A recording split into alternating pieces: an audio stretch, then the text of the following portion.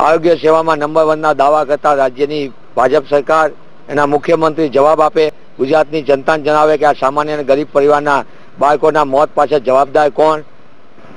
કોની બેદરકારી છે? કોને ગંભીરતાનો અભાવ કર્યો છે? શું અહીંયા વેન્ટિલેટરની પૂરતી સગવડ હતી કે નહીં?